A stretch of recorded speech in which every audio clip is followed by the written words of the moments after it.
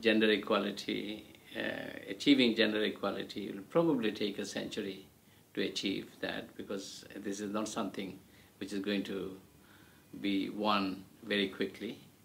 Um, it has taken a hundred years to get women votes.